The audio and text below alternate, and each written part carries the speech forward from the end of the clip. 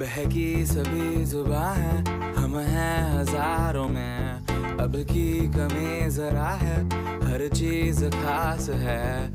अब है जो है वो समा है, तुम रह सकी तो रबा है। अब है जो है वो समा है, तुम रह सके।